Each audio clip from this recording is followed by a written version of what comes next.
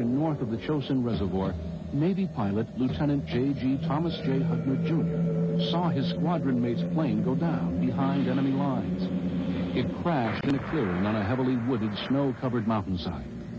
The downed pilot opened the canopy and waved, yet he didn't leave the burning wreckage. Realizing that his friend was trapped, Hudner dropped his rockets and extra fuel tanks, lowered his flaps, and made a deliberate wheels-up landing at the crash site. With his bare hands, he packed the fuselage with snow to keep the flames away from the pilot and struggled to pull him free.